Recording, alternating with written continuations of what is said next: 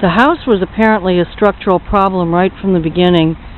The wife was complaining that it was raining inside, which is not good.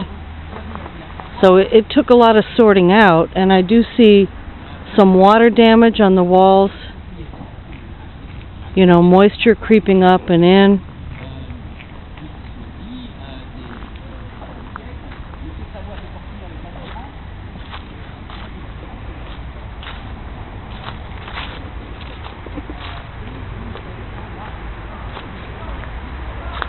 The gardener's house is over here and it's going to be restored. It was a, a quick prefab type thing, suitable for a family of three.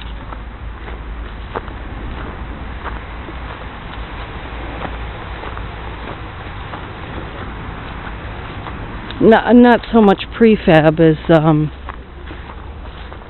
able to be built very, very quickly. Mm-hmm.